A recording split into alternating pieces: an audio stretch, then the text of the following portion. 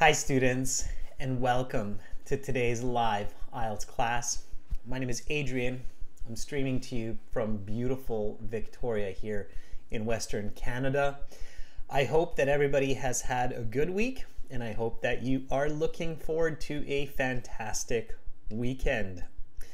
Welcome, Harman. Welcome, Ramanpreet. Hi, Scatman. Good to see many of our subscribers in the class. Everyone, this is a subscribers chat class. So to join the chat in this class, be a subscriber, click that subscribe button, uh, click the bell button to get notifications of our uh, live class schedules and our new releases.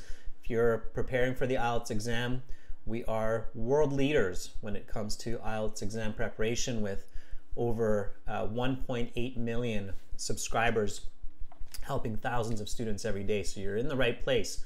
Uh, in this class, we are looking at IELTS listening uh, specifically. We are focusing on listening parts three and four, and we did parts one and two last week. If you missed that, it's okay. That class is available on our uh, live stream recordings on the channel. You can check that out later. Um, and you can definitely do part three, part four without that class. Um, these topics will be on international trade and the famous artist uh, Michelangelo Students, this lesson is presented to you by aehelp.com for academic IELTS success. Visit us there for the general IELTS. Check us out at gieltshelp.com. We will use the website aehelp.com today for the listening audio. We use the materials from our websites regularly in these live classes. So if you enjoy learning in these live classes, spend a couple of dollars and get our materials so that you can follow the classes and learn even more effectively.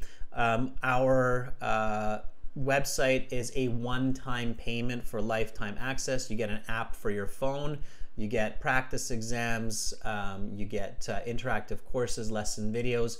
Uh, simply just click on this big red button. It's a one time payment right there uh, for lifetime access. And um, you're off to the races. You can use it as long as you'd like. Uh, welcome, Carolina, our chat moderator. I see lots more students uh, joining in now. Sabine, Mingma, uh, John, Irani, Agna. Uh, good to see so many of you in the class now. That's fantastic. For the general IELTS, visit us at gieltshelp.com. Again, click that big red button. It's a one-time payment for lifetime access. And we do have uh, this code available for you today. You can use on the websites. The code is IDEA25. Will get you a 25% discount. So when you are at the checkout, click use coupon code, type in IDEA25, and you will see a 25% discount.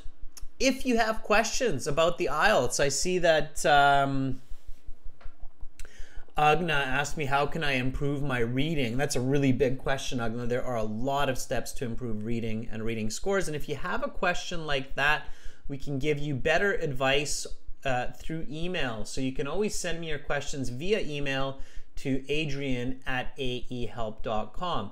Now, of course, a lot of your questions will be answered on our course and our apps. So if you have IELTS questions, check out the app Academic IELTS Help. Check out our app, General IELTS Help, from your App Store. You get lots of help and answers for free from those apps as well. Okay, so we're here to make sure you succeed. Uh, we have uh, more classes tomorrow. We'll have uh, task one writing and speaking part three for everyone. So those are classes tomorrow. The task one will be a members uh, class, and then speaking part three will be an all chat class. And we have special Lighthall classes this month as well. Lighthall is a new platform. It's an amazing platform for live teaching. Check it out. Sign up for one of these classes. They're free. Um, you can video chat with me in these classes if you'd like. Um, here are the links. We'll have a class on the 13th, 24th, and 31st. So lots of classes on uh, Lighthall. Check that out. Um, and uh, definitely check out our latest YouTube speaking video. We just released it a few hours ago. Uh, lots of people have already watched it. There it is. That's our latest YouTube speaking video. It's our best one yet, I think, anyway, in my opinion. It's just very nice and clean and to the point uh, with lots of great strategy, advice, and practice with subtitles. So, um, free for you, sponsored by Cambly. So, thank you, Cambly, for uh, making that a full video for everybody with a full speaking section. Now, uh, listening, right? You're like, well, Adrian, isn't this a listening class? Why are you talking so much? Um, because I want to help you. So, all of this information you might think is advertising, but it's advertising to help you. Um, so, all of this information is valuable for your IELTS learning. You're in the right place. Uh, listening, it is. Yeah. Um, here is listening section three. Now, again, this is going to be coming from our uh, website, and uh, I'm going to play the audio in just a moment here. So, your goal will be to listen and answer. In the IELTS exam, you only get to listen once. You have to answer while you listen. You can take notes. You have note paper in both the paper and computer uh, delivered version of the test. But you shouldn't take lots of notes. You should just listen and answer. There's only a couple of questions where you might take a few notes to help you. Otherwise, you're listening for keywords, you're listening for content, and you're visualizing, you're picturing, you're seeing it. Okay, you're interested, you're not zoning out, you're not thinking about pizza that you're going to eat after the exam. You're really focusing on the content and you're staying calm. If you miss some information, that whatever, it's not the end of the world. Don't worry about it because then you'll miss more information. Okay, so um, pay attention as best as you can. Okay, all right. So what we're going to do right now is we are going to listen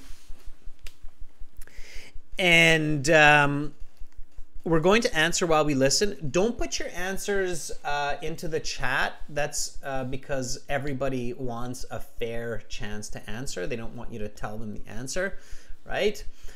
And then at the end, we'll go through the answers. You can tell me the answers. We'll look at them together, and then I'll tell you strategies on how to get some of those answers correct when you sit the IELTS exam. So um, here we go. So basically what I'm doing here now is I'm going to hop over uh, to our academic IELTS website. That's this one here. Okay. Now again, the academic IELTS website, you can join it by clicking that big red button, or you can even try it for free by clicking that green button that's just above my head there. Okay. And when you join, you have this My Student account. And in the My Student account, you have computer based IELTS exams. Uh, you can use this on your phone too, by the way, and you have an app for your phone. You have an interactive course that has a lot of effective and useful strategies developed by our experts. Um, and then you have uh, videos and more and more. And you have audio CDs. Now this is audio CD5 because it is exam 5 and it is listening section 3. That's what we're listening for. So let's get ready to listen. This is going to be about trade. Okay, now you should already realize that because at the beginning of the test you looked at the topics, so you know this is about trade. So here we're going to get ready to listen about trade. Okay, here we go. Now turn to section 3. Take some time to look at questions 21 to 26.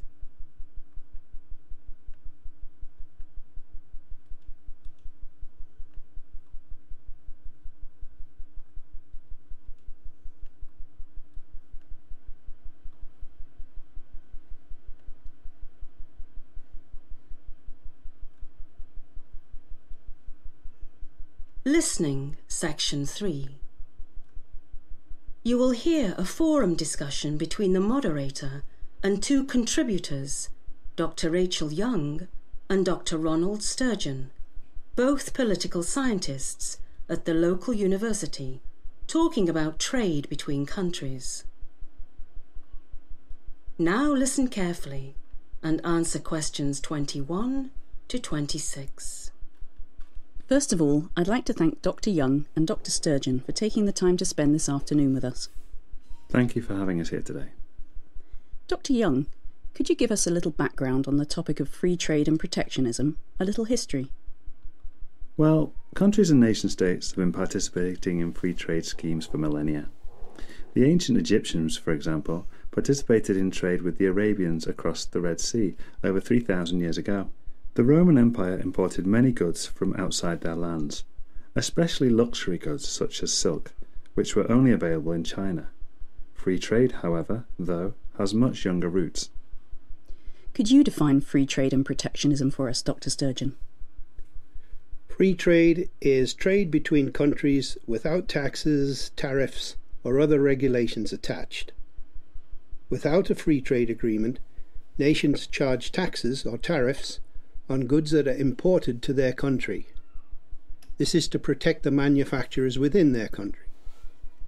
If country A, for example, produces a product for a 20% higher cost than country B, country A is likely to impose a tariff on the importation of country B's cheaper product into country A.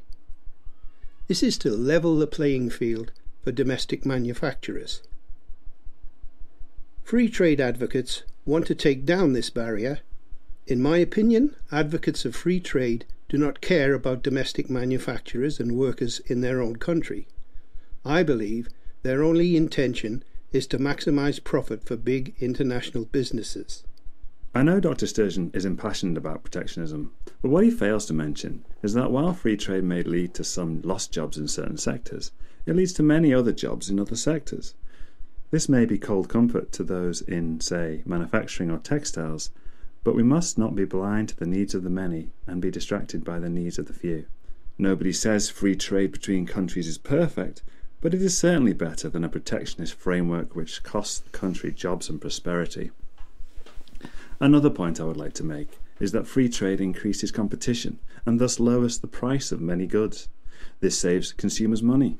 Purchasing a car, for example, is much cheaper under free trade agreements. While such agreements may appear undesirable for a British company such as Land Rover, since they are given price disadvantage within the United Kingdom, this is not the whole story. While it is true that the company is at a minor disadvantage within their home country, free trade agreements puts them in an equally advantageous position in other countries in which the UK has a free trade agreement. You now have some time to look at questions 27 to 30.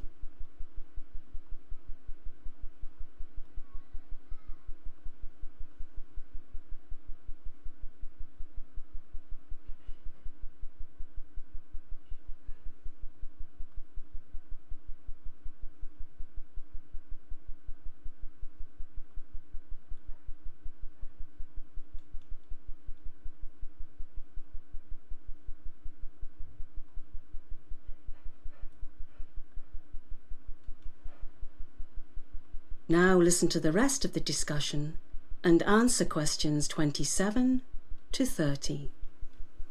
This is a very interesting discussion. Dr. Sturgeon, from reading some of your work, I know you have some ethical concerns about free trade. Yes, I have a number of ethical concerns.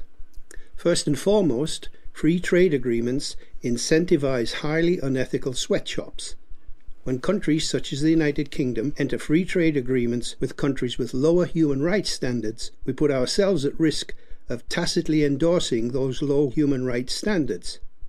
Is the ability to wear slightly cheaper clothing really worth selling out on one of our most basic beliefs that people should be treated with respect? I agree with Dr. Sturgeon that human rights is an ongoing issue in free trade. Certain incidents, such as sweatshops collapsing and killing dozens of workers, have highlighted this issue in the media and public discourse, but these are isolated incidents. Hardly. These are not isolated at all. And even if such horrible incidents were rare, does it make the conditions those workers work in permissible? Do we excuse horrible working conditions as long as the workers don't die? That's an incredibly low bar, and one I believe we must implore companies and governments to raise. Okay, okay, let's move on. Dr. Young, do you believe free trade betters the life of the average British citizen? Absolutely. I believe free trade agreements make us more prosperous as a society. While not perfect, I truly believe pursuing free trade agreements is a positive step in making our world a better place. Of course, I disagree. While I do not doubt that more wealth comes into our country as a result of free trade agreements, I believe this money never improves the life of the average citizen. The rich get richer and the middle class workers get laid off. Not to mention the ethical issues I have with this. That is the end of section three. You will now have half a minute to check your answers. All right, students, and in that half minute, check your answers. It's very important. I'm just going to stop the audio on our website here. And then we will take a look at the questions and we'll talk a little bit of strategy. Okay. And I will um, highlight a few interesting points for you as well. So, first of all, as we were doing this, uh, notice how what I did was I looked at some of the key information in each question. So I knew what I would be listening for, okay? Now, I do not recommend circling or underlining in your real exam. In the real exam, just pay attention to the key information. Don't circle, don't underline. Why do I say that? Why do I why do you think that I tell you not to circle or underline? And at home you can, but not in the real exam. Why is that? So at home you can highlight, circle, whatever you do. Some people do this, some people do that, circle or underline uh, key information that you predict you will hear. But in the real exam, you should not do this. Just look with your eyes.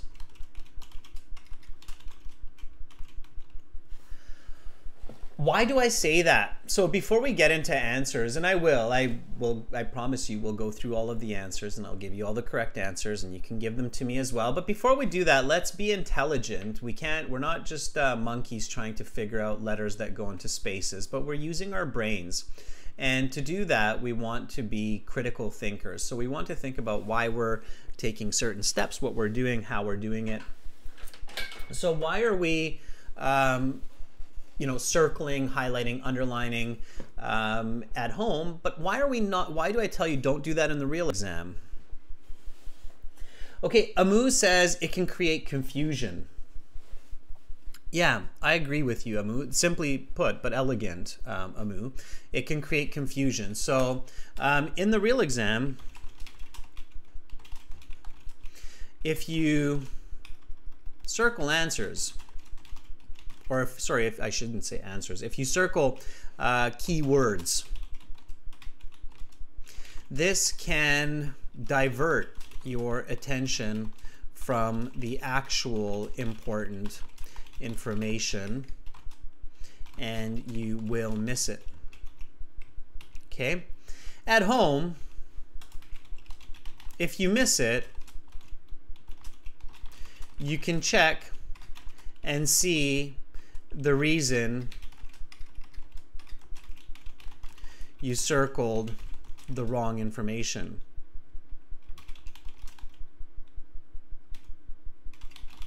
Let me show you what I mean, right?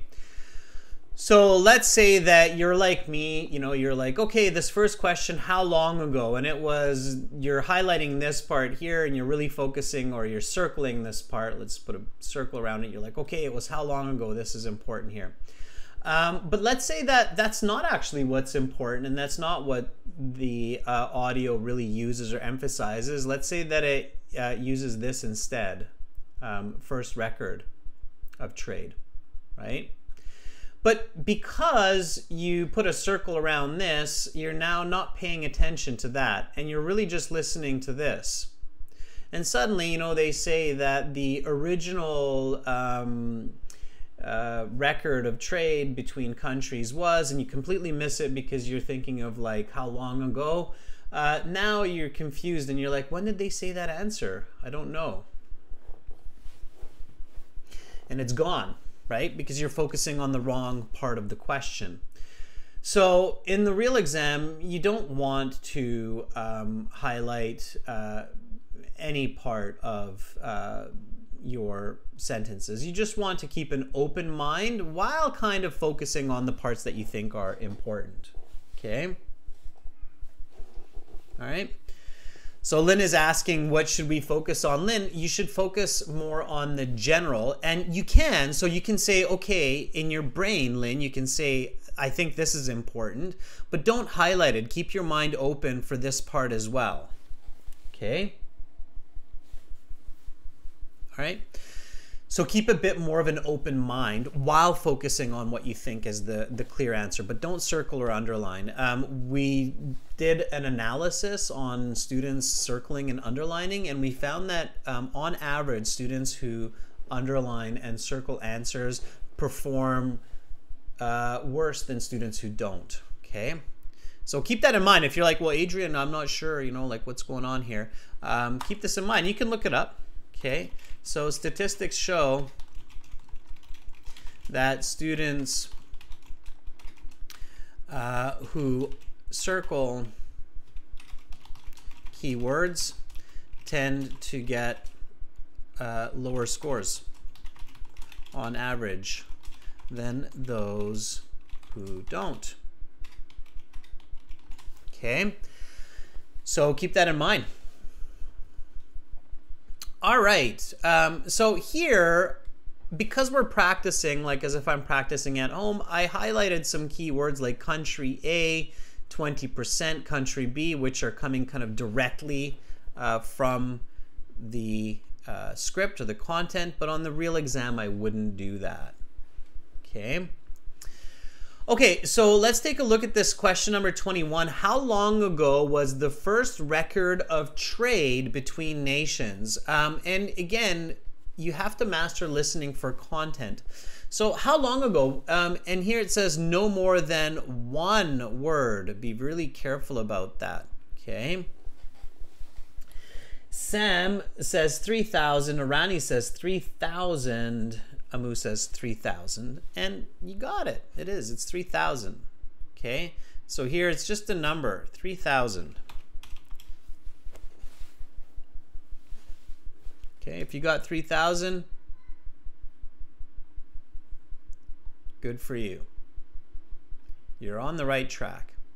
Now, in the IELTS, the answers sometimes come quickly, one after the next. Sometimes they come slowly. And here, the next question didn't come for some time. So uh, the um, people were talking for a little while before they actually got to modern day free trade and protectionism. So you have two professors. They're arguing two types of trade. One is free trade, where countries do not pay taxes on their exports, imports and the other one is protectionism, where obviously an importing country has to pay a tax. Okay. Uh, Tommy, yes, you have to listen and give the answer at the same time. Absolutely. So here, I was carefully listening for this content, uh, country A and country B and 20%, because as soon as I hear that, I know that my answers will be coming uh, for these next parts. Okay. And then one of the speakers eventually said, country A makes a profit um, and 20% uh, higher cost than country B. And then they're talking. And then it says the company must pay. Okay, now they didn't say must pay because it's always paraphrased. So you don't hear, especially part three, part four, you don't hear the same words. But you can also use logic. So um, if they don't have free trade, even if I miss this answer, I can probably figure it out. If they don't have free trade agreement, the company must pay Ah, and uh, Kavya says tariffs. Amu says taxes or tariffs. Uh, Kavya says tariff. You can only choose one, Kavya. Um, is it tariff or tariffs? It's tariff, right? Why? Because I have a here. Pay attention to uh, the articles. If it's a, then it's singular. And it's a common noun, so it's all lowercase words. It's a tariff. If you write tariffs, plural, you'll get it wrong. Okay? Pay attention to the a. So the company must pay a tariff to import the product. One product, one tariff. This is to level the playing field for who? This was a little bit trickier. Now this is two words and or a number. Okay. Tommy, I don't know who told you that they listen and take notes, but that person has no idea what they're talking about. They definitely should not be teaching the IELTS. Okay? If you're just taking notes while you're listening, you're going to perform poorly. So whoever gave you that advice that they just take notes and they listen and then they answer, that's true for TOEFL exam, but not for the IELTS exam. So if somebody's teaching that in IELTS, they should not have that job. Okay. All right, Amu says domestic manufacturers. Um, yeah, and here it's plural. So it was domestic, domestic meaning local. It's the people within the country who produce products. So it's domestic manufacturers. Now, this was a little bit of a, you know, harder answer because of the English. Like some people might not be familiar with the word domestic or manufacturers. Hopefully you are. But to help you, you had this part here, um, level the playing field. Okay. And level the playing field has these quotation marks on the two sides. Okay, little cat claws, some people call them cat claws. As they look like little cat claws. Um, and uh, those uh, cat claws uh, mean that the speakers will use the exact language verbatim. So they are going to say level the playing field. So as soon as you hear them say that, level the playing field, you know that uh, the answer will be coming. Okay, let me put that up a little bit. Green screen interference there. Okay. All right. Um, and then you keep going. Do pay attention to these arrows. Okay. Um, the arrows uh, indicate that the information is sequential. Okay, so you're listening for this. Once it's gone, you listen for this. Now, if you missed this part at the top and you realize this is happening right there, then forget about, you know, missed question. Make sure you go on, right? So always try to keep your eyes a little bit ahead of the audio. That's very, very important advice. So try to keep your eyes slightly ahead of the audio. And of course, this is where reading skills are really important. So for the listening section of the IELTS, you need good reading fluency because you need to keep your eyes in front of the audio. Everybody got that? If you're playing catch up, if your eyes are always behind the audio, it will be very difficult to get a good score on the listening section, especially especially part four where they just keep going and going and going and going. So part four is almost like a test of reading fluency at the same time as testing um, listening, and we will see that when we get to uh, the uh, part four. Okay. Tommy says, but I get distracted if I look and listen at the same time. Like there's a lot of information. Um, minimize uh, Tommy. Don't try to look at all the information. Um, look at the key pieces of information and don't look at, for example, all the choices uh, for multiple choice. All right. Okay, so let's keep going. If the countries do have a free trade agreement, the company does not have to pay uh, to import the item. Some advocates of protectionism believe free trade advocates are only worried about maximizing something for large companies. So, what are they maximizing? Irani says it's profits. Yeah. So increasing profits, right? Companies, corporations, maximizing profits. Absolutely. And here you need a plural. Ideally, it's profits. And worried about, they didn't say worried about, they said concerned about. So again, uh, paraphrasing. Okay. Now, do keep in mind, students, this is part three. Part three, they're looking for a higher band. They're looking for band seven, eight, nine. So if you're making more mistakes, it's not the end of the world. You just need to work on reading, comprehension, paraphrasing, building your vocabulary. Okay? All right. So 24 is profits. Yeah, Tommy. So multiple choice is where you take notes. Okay, not every question, but multiple choice is where you take notes. And I'll show you that because uh, we will get there. Okay, so notes are useful for some questions, but not for the whole listening. So you have to be selective in your note taking, and we'll talk about that in one moment. All right, um, so here, no more than three words and or a number. 25. Some people will lose their jobs under free trade agreements, but we must emphasize the needs of the something and not be sidetracked by the needs of the. Uh, well, we say this in many languages many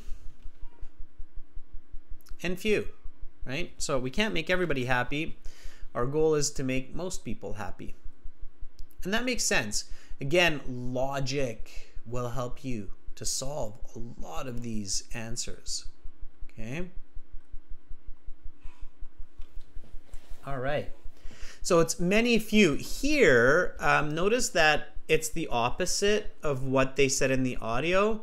So in the audio, I believe uh, the man says, we must not be sidetracked by the needs of the few and focus on the needs of the many when I took the IELTS exam last time, there was a question exactly like this where and it was in the reading actually not in the listening where they had this two part answer and it was like something very similar like many and few and they did the same kind of trick where they reversed the order so instead of few first it was many first and then few after. So they changed the order. So be really careful of the content. The order is important for this type of question. The paper-based exam, okay, you have to put it in the correct order.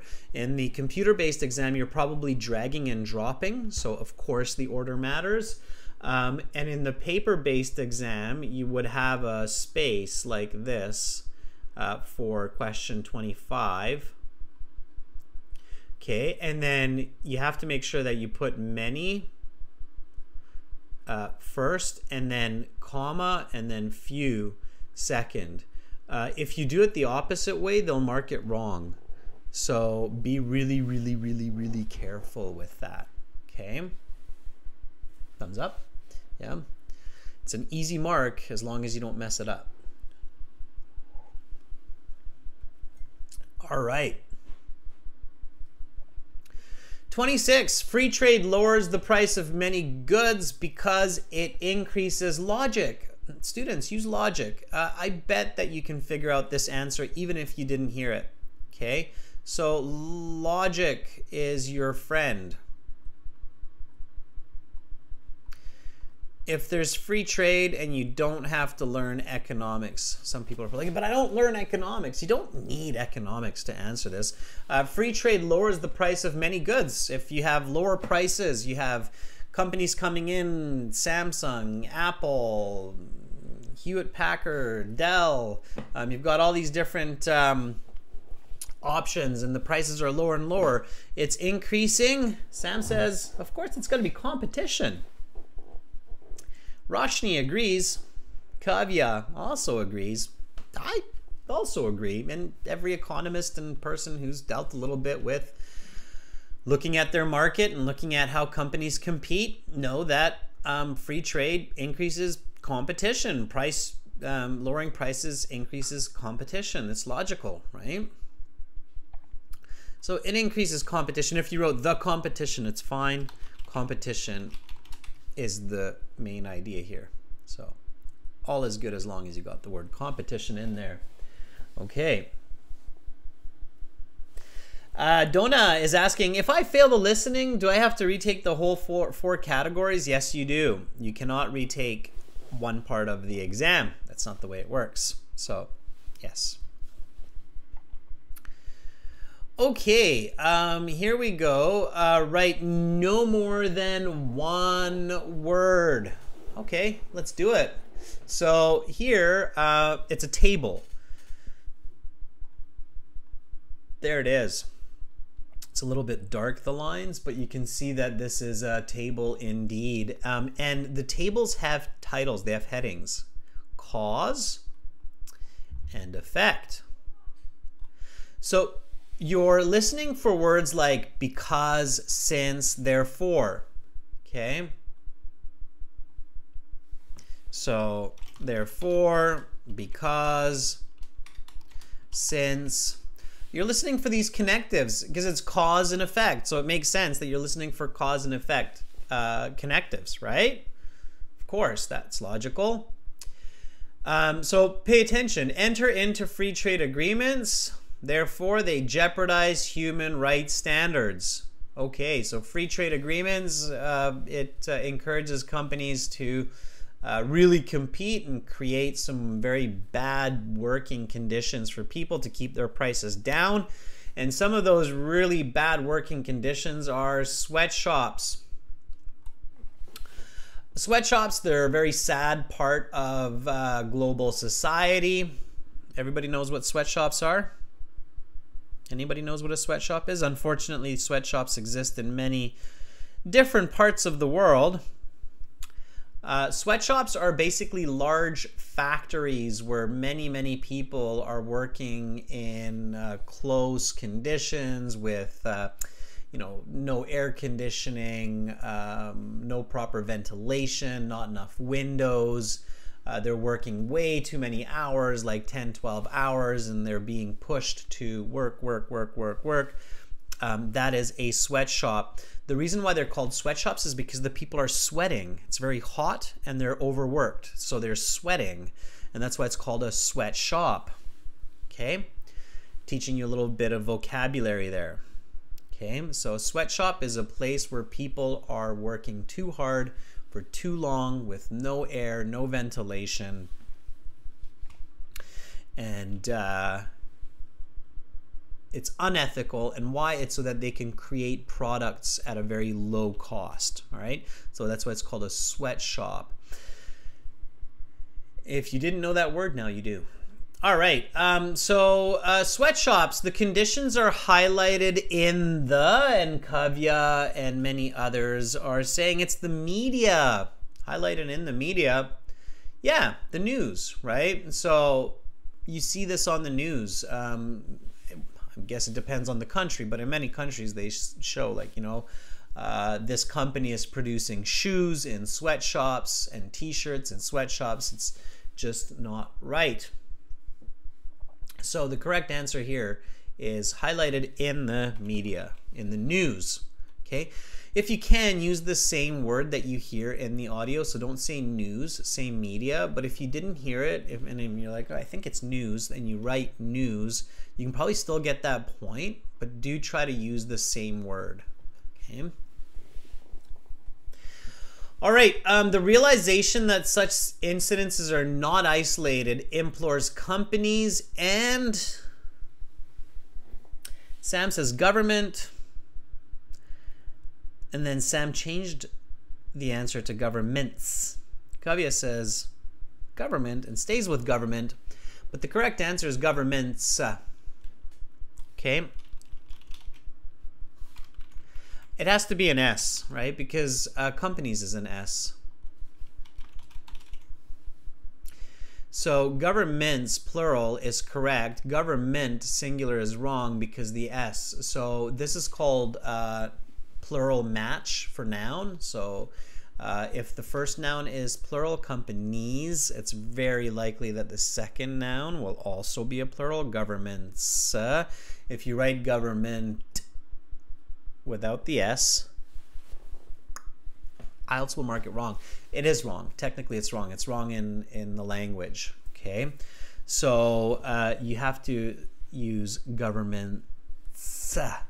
Okay. Implore companies and governments to raise the bar. Uh, Shavam, no, IDP will not allow you to retake only one module of the exam. It's really weird, but there's a lot of strange rumors going around the internet right now with like the order of the IDP exam is changing and you're allowed to retake one part of the exam.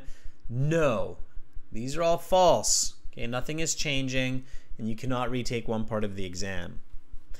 Now, uh, here's the multiple choice. This is the one that many of you are like, oh, this is, uh, yeah, I can't read all of this. Okay, obviously, don't read all of the choices while you're listening. So do not read all of the multiple choice question choices while you listen. Okay? Because that's just crazy.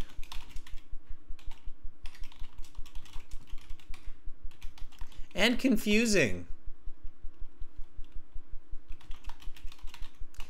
this is where you want to take notes okay? Multiple choice questions are the one rare type of question where you should take notes. And there's a different there's a few different types of multiple choice questions. There, there's the multi multiple choice question. That one is especially you want to take some notes so the correct way to solve multiple choice questions is focus on the question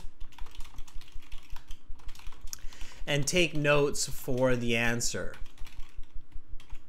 Okay, then match your notes with the correct answer. Okay.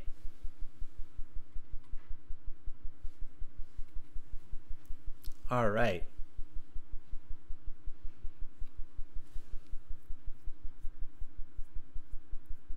Okay. So, um, here we go. Uh, Kavya, don't spam with the answer. It's not necessary. Stop hitting B and enter. Just let your fingers rest a little bit. It's good for everybody. It's good for your fingers. I see the answers. I'm looking at the chat all the time. Once is enough. I'll share the answer anyway. Focus on the strategy. Okay, this is one of the mistakes a lot of candidates make when they're practicing for the IELTS is they're so concerned with the right answer that they don't focus enough on practicing and paying attention to strategies, paying attention to feedback.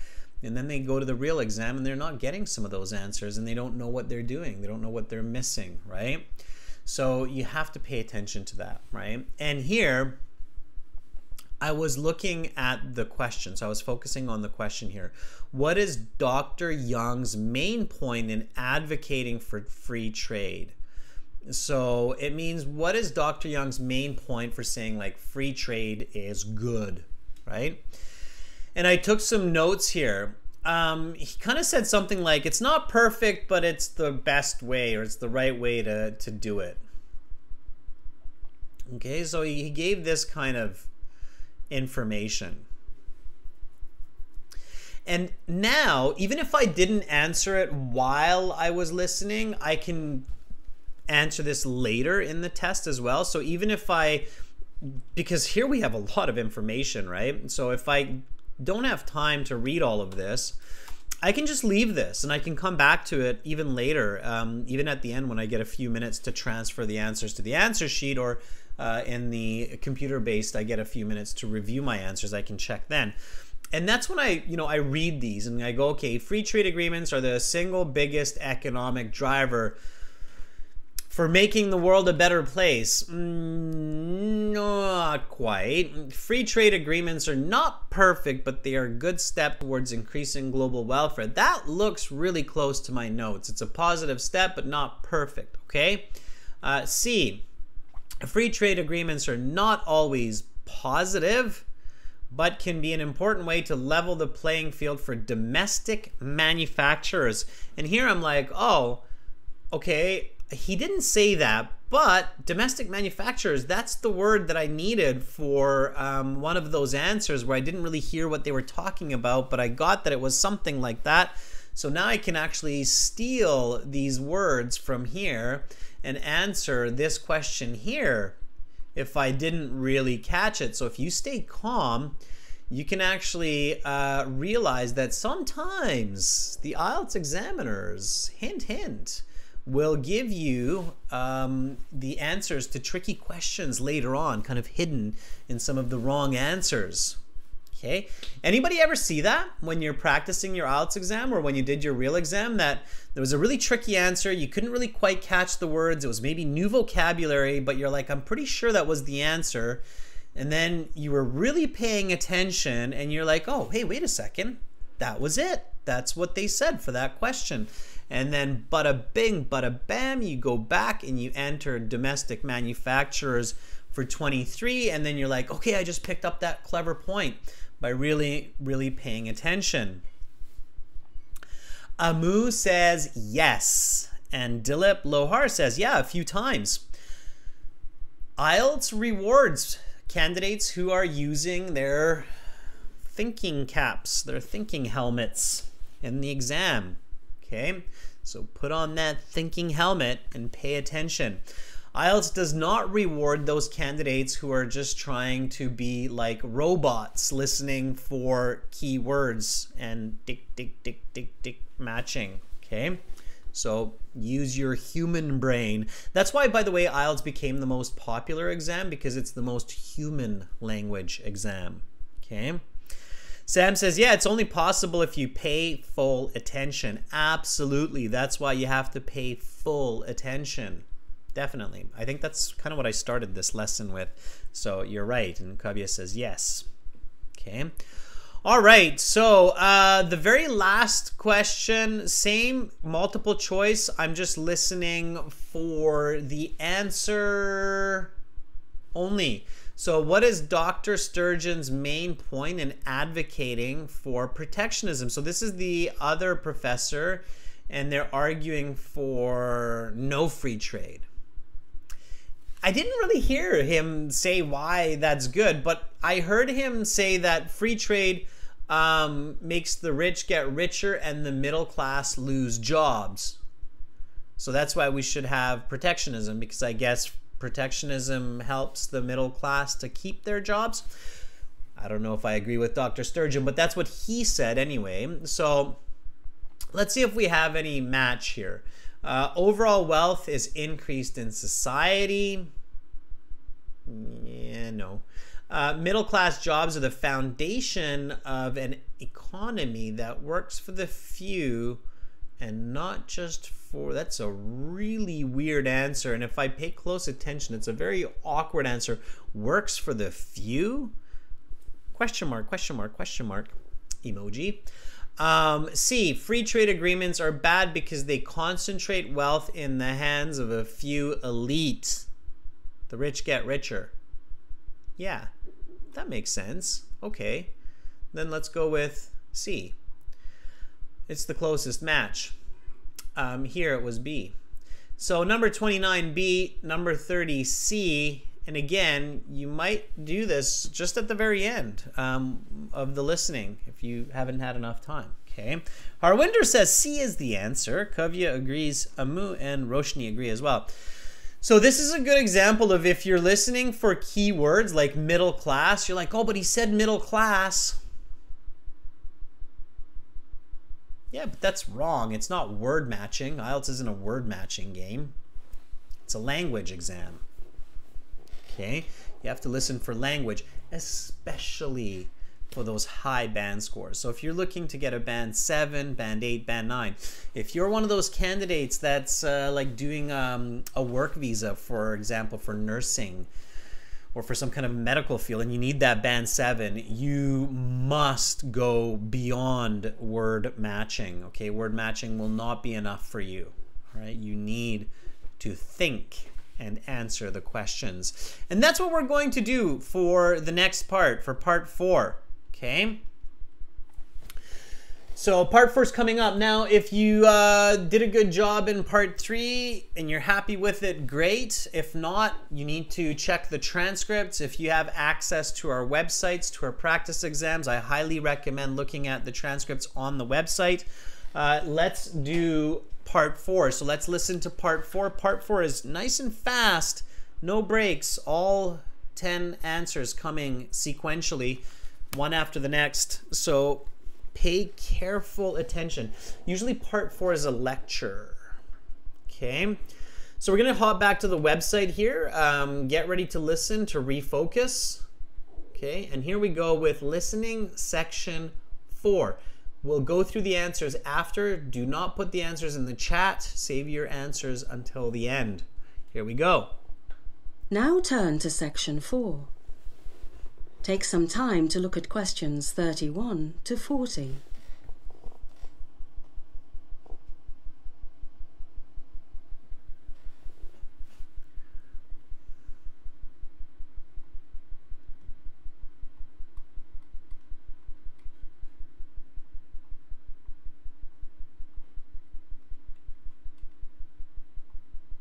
Listening Section 4 you will hear a university lecture on the famous artist Michelangelo.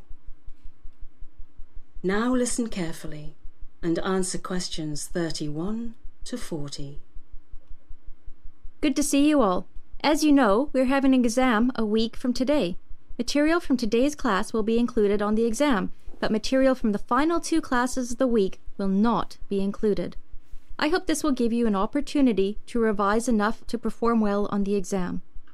With that administrative business out of the way, I'd like to begin today's lecture on the lesser known works and endeavors of the famous Italian Renaissance artist Michelangelo. While Michelangelo is best known for his painting of the ceiling of the Sistine Chapel, he was also the creator of a number of other highly respected works. Among these are the Pieta, a statue of Mary holding a deceased Jesus, and the statue David, said to be the representative of the perfect male form. But Michelangelo was not just a painter and a sculptor. One of his crowning achievements is St. Peter's Basilica, a project he was lead architect on for the 17 years preceding his death in 1564. While the basilica wasn't completed until 1626, over 60 years after his death, Michelangelo's influence on the structure was immense, as he had laid out many plans for the structure during his lifetime, many of which were faithfully carried out under the reign of future popes and future architects. Michelangelo's fingerprints are all over modern Rome, and especially what is today Vatican City. Not only through his paintings, frescoes, and sculptures, but also through his architectural achievements. In addition to his influence on St. Peter's Basilica, Michelangelo also redesigned the famous Capitoline Hill area of Rome and designed many chapels within the walls of the Vatican. Michelangelo was also tasked with a number of pet projects over the years. These projects were not one that the man himself wanted to undertake, but was compelled to because of monetary considerations or simply loyalty to the Pope. For example, when Pope Julius II ordered him to construct a three times life size bronze statue of the Pope, Michelangelo had no choice but to accept. The project took up more than two years of his life, and four years after its completion, the work was unceremoniously melted down to construct cannons. Additionally, the conditions under which he was made to work were often sorely substandard. For years, he lived and worked with four other men in a cramped apartment with little to no privacy and no room for his creative juices to flourish. It is interesting to imagine what a genius such as Michelangelo could have accomplished given rein over his own creativity. I personally believe the world is a poor place for him having not been allowed this luxury. However, on the other hand, Perhaps Michelangelo's sometimes tortured life imbued his works of art with something more than just artistic genius. Although Michelangelo is a celebrated figure for his works of art and well respected for his architectural acumen, his literary works are virtually unknown to the world. He was a virtuoso of Renaissance art, celebrated in his lifetime and venerated centuries after his death, but his writings never made an impact on the society in which he lived, nor in the years since. Michelangelo was an avid writer of poetry and found that poetry was an invaluable escape from the grind of his everyday work life, especially during the years spent arduously painting the ceiling of the Sistine Chapel. Poetry provided an outlet for his frustrations, fears, beliefs, and desires. Those who want to know the real Michelangelo must go beyond his frescoes and sculptures and dig deep into his personal writings. There, one will find a rather tortured soul harmed by years of physical, political, professional, and personal strife. That is the end of section four. You will now have half a minute to check your answers. Always use that half minute to check the answers. Um, you can check the answers in the answer key and in the transcripts uh, that you can download from here on the website if you have access to the premium course. Okay, again, to access the premium course, you need to sign up for that. But good news, everyone, we'll go through the answers right now together uh, for this one. But if you want all the other practice exams videos, definitely click that big red button to join our premium IELTS package. It's a one time payment, lifetime access. Um, all right, uh, let's take a look at this. So, Michelangelo, very famous Italian artist, scientist, if you will, architect. Um, okay, so lecture, uh, was it art history class? I think she said at the beginning, and then um, she gives some instructions to the students. Now, of course, this you know, for those of you who plan to go to university in an English-speaking country, this is typical. It's typical kind of lecture or discussion uh, by the professor. Okay, and um, professors often start the class by uh, saying, you know, what is going to be on an exam and what won't be on the exam. Students are very curious about that. Um, I think, yeah, let's look at this. So, um, A, if it's on the exam, B, if it's not on the exam. These ones were kind of easier answers. So, 31 material from the third class of the week is B, it's not on the exam. That's right, Irani. So she very clearly said what should be uh, on the exam or what will be on the exam and what will not be on the exam. So B, use capital letters for this, okay? And material from the current class. So this material about Michelangelo, number 32, very clearly she says materials from this class will be on the exam. So these were kind of give me points, okay? Which is nice. They're, they're nice to have especially in part four, that are kind of easy and you don't really have to overthink them. So, for those of you who got those correct, awesome. And then she goes into uh, talking about Michelangelo. Now, Michelangelo, uh, hopefully, you know some information about Michelangelo. Okay, Michelangelo was one of the most important uh, Renaissance um, figures in history and uh, you don't have to know a lot about history, but you know, knowing a couple of names like Da Vinci and Michelangelo, they're very famous. You see, they're they're referenced in movies, in um, cartoons, in literature, all over the world in almost every kind of a language. So if you have a little bit of um, worldly knowledge, that's a great idea. You know, like I know that some countries really internalize their knowledge, so they really focus on knowledge that's connected with their country. But on the IELTS exam, okay, definitely read up on global information as well. So for IELTS, you want to do reading on international information and history from east to west. So it doesn't just mean Europe, in this case Italy, or it doesn't just mean Canada and the US, like our last class, which was a reading about um, the border dispute, but even um, Asia. So, uh, learning a little bit about the big dynasties in China or the bigger empires. Uh, in uh, Japan, or the conflict between North South Korea, or the history of uh, Vietnam.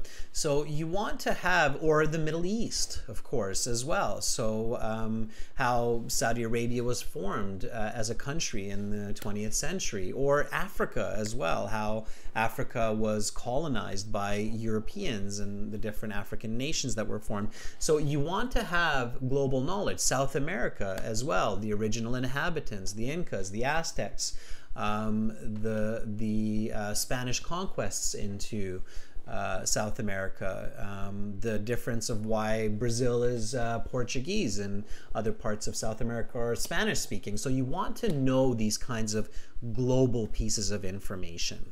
Okay.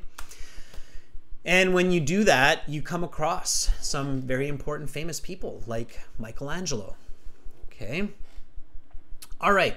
Now, pay attention to uh, these um, subheadings like other works. Okay. And you have to be quick here. You have to listen and read. This is where reading, listening, answering at the same time is tested at the highest level. Part four is the most challenging part of the IELTS exam for many.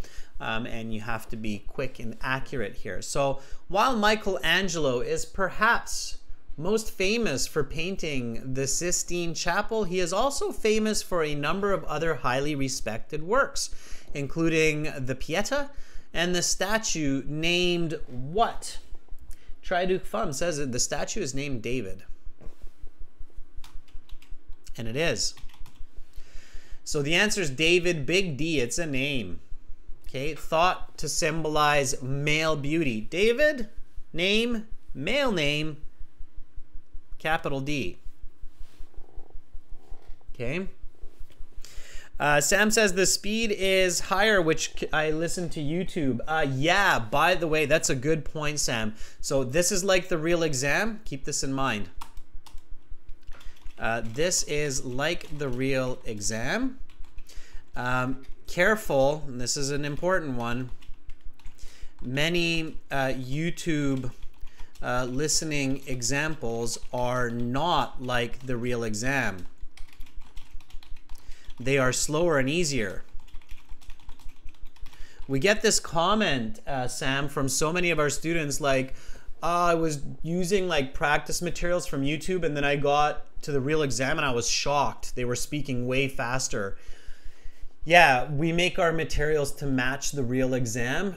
Um, and you should be very careful because there's a lot of uh, exercises. And you know they're okay for helping you improve your listening but you still need to use the same kind of materials as the IELTS to get the real experience okay? Everybody got that? That's really important okay? There are a lot of materials out there online and on YouTube that are not like the real exam and we're always so sad when students are like in a shock when they get to the real exam they're like whoa what, what's going on this is way faster than youtube way more complicated okay all right this that you just heard for part four is very much like the real IELTS exam. Uh, when I did my last exam for the IELTS, because I take the IELTS exam, so we know what the real exam is like.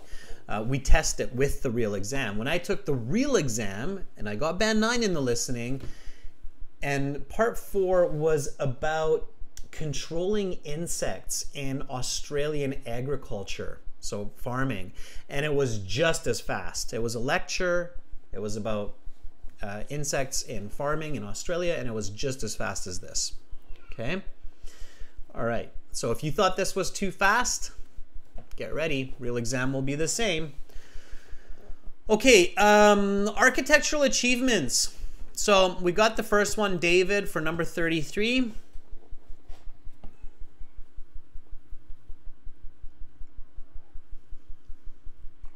Let's keep going. Uh, Chayan Kip, um, Cambridge past exams, IELTS books, they're going to be pretty much the same because they're past exams, right? Other ones like Web IELTS, probably not. Okay. All right, so let's keep reading. Let's get refocused here. So, architectural achievements, that's the topic here. So, far more than just a painter, Michelangelo was also an architect. He was lead architect on St. Peter's Basilica for something until his death in 1564. Correct answer here two words number and a word 17 years. Okay, you need both of these to get it correct. If you write the word 17, yes, it's correct, but um, it's more challenging to write the word 17, so use the number. Okay, uh, though the structure was not completed until 60 years after his death, his fingerprints are all over the resulting structure because future something and something faithfully carried out his designs. Future popes and architects. You have to get both of these right if you heard it. Why? Because we have the word pope right here. So you can see that it's spelt with a capital P um, and uh, so if you write popes, you can write it with a capital P and with an S. You have to get architect right and the spelling right because the heading here is architectural. So you have most of the word right there, architect, right? And you just have to write an S at the end, architects. So if you're like, I don't know the spelling though, but I never write this word, it's in there. Just keep your eyes open, okay? Faithfully carried out his designs. Michelangelo's influence is also apparent around the rest of the city of. Now, this was tricky because they kind of give you a couple of different names, um, but if you pay careful attention, you figure out that the right answer is Rome not Vatican. Vatican is just in the very center of Rome. It's a small part of Rome. Again, this is where knowing a bit of your world history is really important. Uh, Vatican is the epicenter of the Catholic uh, uh, faith. It's like knowing that the Kaaba stone in Mecca um, is kind of an epicenter for uh, the Muslim uh, faith. Okay uh, or um, Tibet is an epicenter of uh, the uh, Buddhist faith. So, uh, knowing certain um, key pieces of information, uh, again, will help you, okay? Um, Vatican is is important, but Michelangelo's works can be seen all over Rome, the city that actually surrounds the Vatican. Okay. All right. Um, servant of the papacy. He was also a loyal servant of the Pope. Okay. Sometimes this was important work, though sometimes it was rather pointless. He once built a something of the Pope only to see it melted down for cannon parts. That is so sad. Just imagine how much that statue would be worth today. Uh, very visual. Blah, blah, blah. This statue being melted down. Amu says it's a bronze statue. It is a bronze statue, Amu. Bronze is um, common word. It's like gold or silver. Okay. Um, and uh, visual. Use your vision. When you're listening, you should see the information. You should see this big statue of the Pope being melted down into a military weapon, a cannon. Humans are crazy. Um, yeah, so poor guy probably spent quite some time. I think he said two years building it. Somebody makes a cannon out of it. Sad. All right. Um, moreover, the something he had to work in were often substandard. Uh, the what? The environment? Eh, kind of. Conditions. That's right, Irani. The conditions, logic tells me that. I can guess that word if I don't catch it in the audio. So the conditions he had to work in um, were often substandard. Okay. working with lots of other men. All right, literary works. How strange. I didn't know this about Michelangelo, but I've learned something new. Um, Michelangelo wasn't just a painter, sculptor, architect. Michelangelo was also a poet. Poetry. Of course, people were really into poetry in the past, not just in Europe, but in Asia and in North America. People still are into poetry, but I think few hundred years back, people were really into poetry, right? Now we have movies and TV shows, and I don't think people are into poetry as much. But poetry is an expression of feelings and emotions, right? Most people know that. We poetry, feelings, emotions.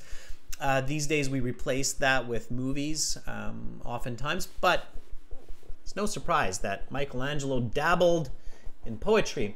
So it is interesting to think what he could have made if he was given the freedom to explore his own creativity. Hopefully you got that. And I see that uh, Scatman, Roshni, Tsayankip, um, Fum, Amu, very good. Creativity. Yeah, that was an easier one to catch, I think, as long as you know that word. While his life may have been difficult, some people argue that this difficulty made him a better artist. Perhaps. Something was an important way to escape the difficulties of Michelangelo's life. That was poetry, right? We just talked about it. Poetry, express your feelings. It's kind of like a diary, right? Poetry, Irani, careful with the spelling. P O E R T Y, poetry. Start of the sentence, so it's a good idea to use a capital letter, but, uh, you know, if you forget that, I think they'll still give it to you, right? But do pay attention if the word is starting the sentence. Poetry is the right word here. All right. So there you go. There you have it. Now, I wanted to check one answer. Somebody said that should have been C. Um, yeah, no, 29 is B. Somebody thought it was C, but no, it's B. Uh, okay, everyone, so that's uh, part three and part four. Now, my question to you is how did you do? What did you get from 20? So, what was your score from these 20? Ideally, if you're going for a band 7 or higher, especially if you're going for a band 8, band 9, you want to get at least 14 or more of these correct. If you're going for a band 8, band 9, you got to get 17, 18 of these correct. Okay. Amu says 18, Jassy says 18. That's pretty good. Yeah, if you've got eight if you got 18 correct in part 3 and part 4, you're flying. You're you're doing awesome. All right. Uh, Chan Kip says I wrote poultry and I changed it to poetry. That's funny. Um, yeah, Shub, 10 is a little on the low side. Uh, Lois, 16 is good. All right. By the way, students, you can check what your mark is worth, especially if you did uh, the uh, part one class. So um, at the bottom of our uh, website, at the very, very bottom, uh, you'll see a score calculator.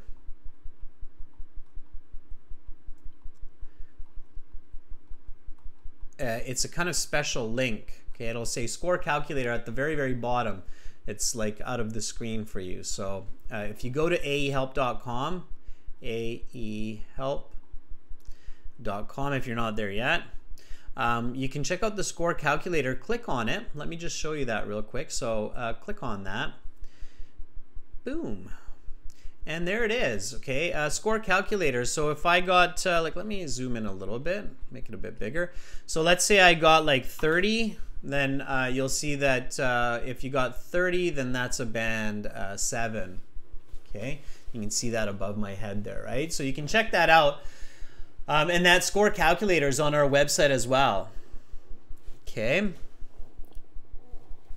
No, the pattern of IELTS didn't change. It's a rumor. Okay. All right. Um, that's it right there. That's how we do it. Um, and that's listening part three and four. I really do hope that everybody enjoyed the class. And if you did, um, and you want to see HD videos uh, on your phone and through the app, uh, definitely join our Premium IELTS package, click on that uh, red button, the join now button. You can use that discount code IDEA25 when you do that. For general IELTS, it's here, gieltshelp.com. Okay. And then, uh, yeah, use that code. Um, there it is. The code. Um, here it is at the top as well. So there we go.